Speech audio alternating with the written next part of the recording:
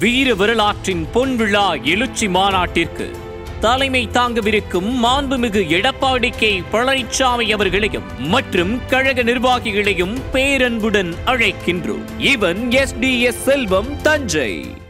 கச்சத்தீவை பற்றி பேச விடியா திமுகவுக்கு தகுதியோ அருகதையோ கிடையாது எனவும் கச்சத்தீவை தாரை வார்த்தவர் கருணாநிதிதான் எனவும் முன்னாள் அமைச்சர் ஜெயக்குமார் காட்டமாக தெரிவித்தார்.